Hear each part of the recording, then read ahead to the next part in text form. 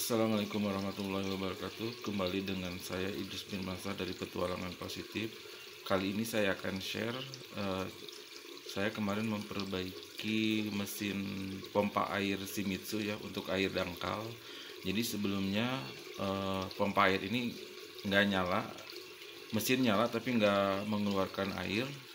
Sebelumnya saya coba ini ya eh, Memperbaiki sambungan kabel ini karena sebelumnya ada bagian yang terkelupas ternyata nggak ngaruh juga. Terus kemudian saya bongkar ini ini pakai kunci 13 ya.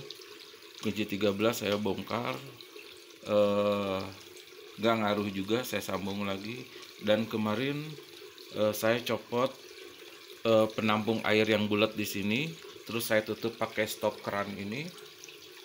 Terus kemudian nggak ngaruh juga ternyata setelah saya bongkar bagian ini bagian ini ini pakai kunci 10 ini eh, air mengalir ya.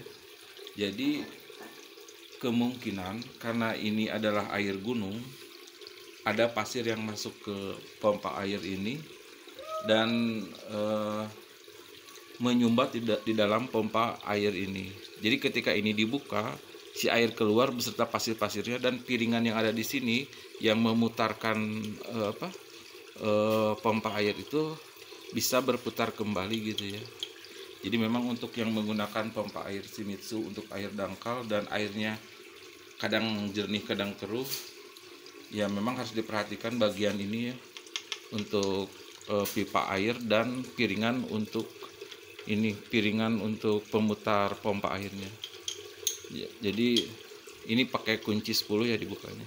Semoga bermanfaat. Assalamualaikum warahmatullahi wabarakatuh